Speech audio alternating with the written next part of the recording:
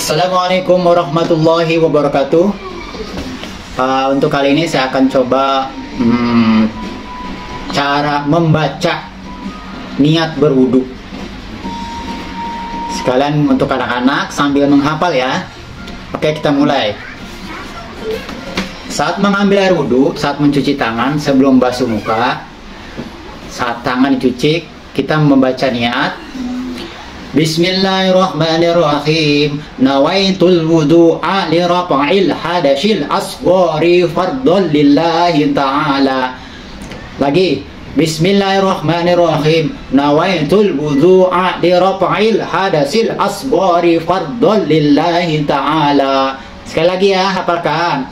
Nawaitul wudu'a li rafa'il hadasil asghari fardun lillahi ta'ala saat air ada di tangan, diangkat tangannya ke muka, dalam hati membaca aku niat berwudu, menghilangkan hadasan ke, hadasan kecil, fardu karena Allah Taala.